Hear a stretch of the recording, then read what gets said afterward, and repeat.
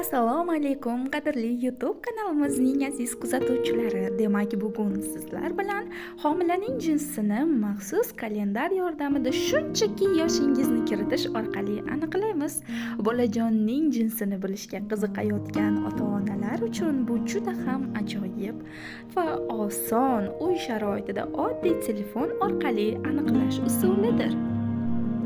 Albatta bu shunchaki qiziquvchi ota onalar uchun ya'ni yuz foizlik natija kafolatlanmaydi agarda siz eng ishonchli usullarda bolajoningiz jinsini bilishni xohlasangiz telegram orqali mutaxassis gulnara nabiyevaga murojaat qiling.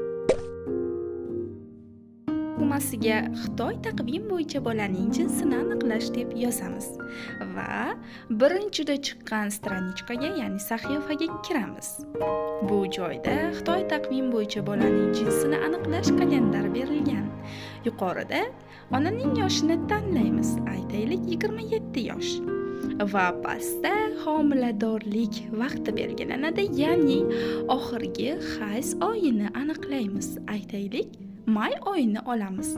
Va oxirgi hayz 10 mayda kelib misol uchun 13 may kuni tugagan bo'lsa demak ovulyatsiya kuni ham may oyiga to'g'ri keladi va homila may oyida bo'lgan bo'ladi. Demak tagidagi yashil knopka bo'yida bo'lish vaqtini belgilaymiz va agarda shu oyda homiladorlik bo'lgan bo'lsa homilaning jinsi o'g'il ekanligi chiqib keladi. Bundan foydalanib sinab